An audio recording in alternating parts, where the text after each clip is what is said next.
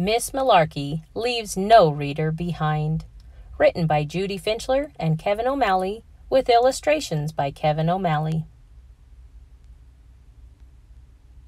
It's the first week of school, and this year Miss Malarkey said our class would be doing the Everybody Reads in America program.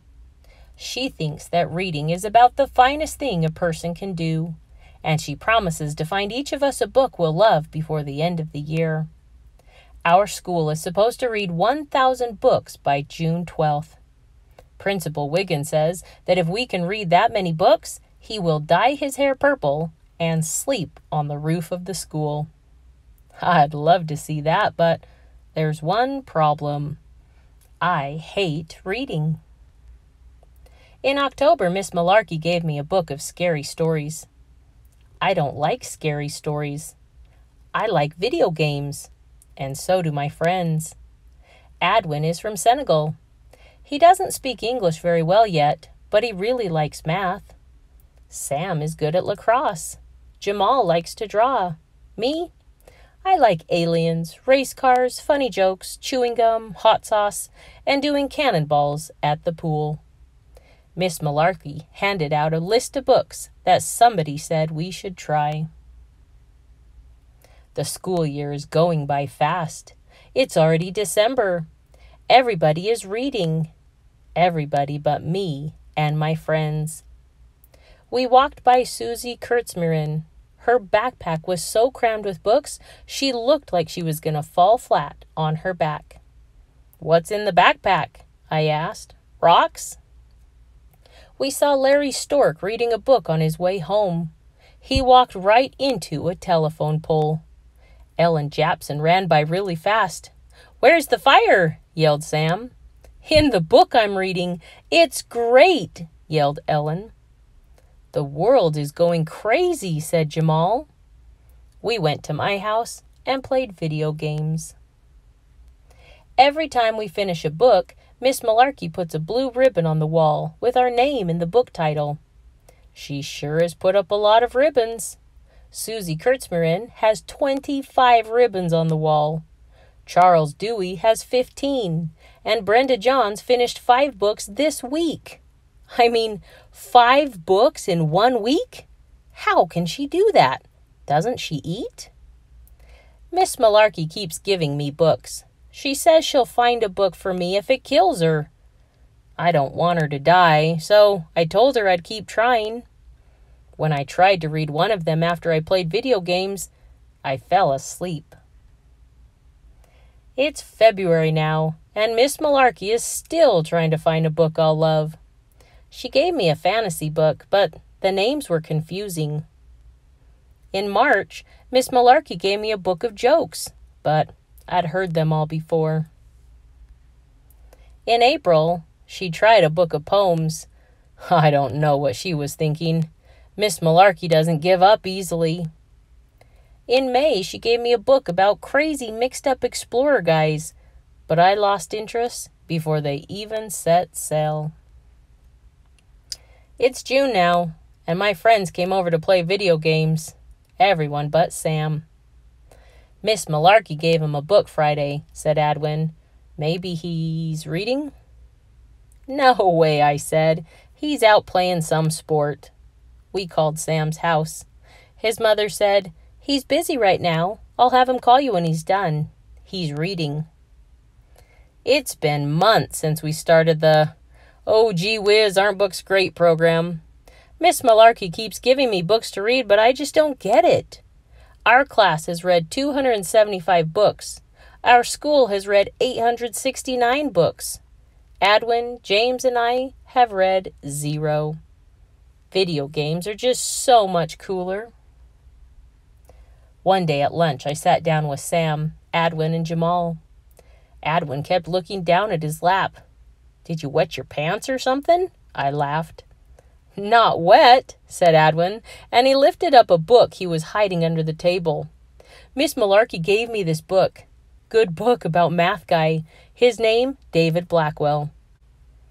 That's great, Adwin, I said. You enjoy your stupid book, but Jamal and I are going to be video game masters.